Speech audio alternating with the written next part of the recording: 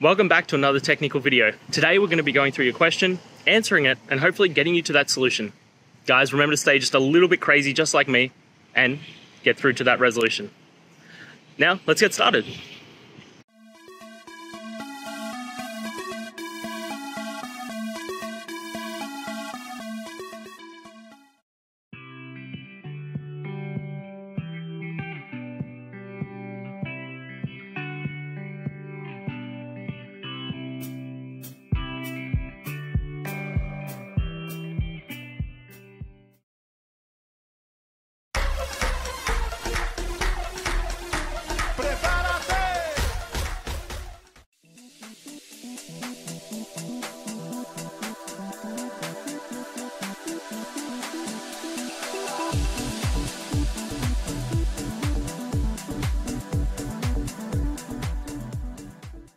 And that's it, guys. I hope the video helped find the resolution that you're looking for and you got the answer and worked your way through.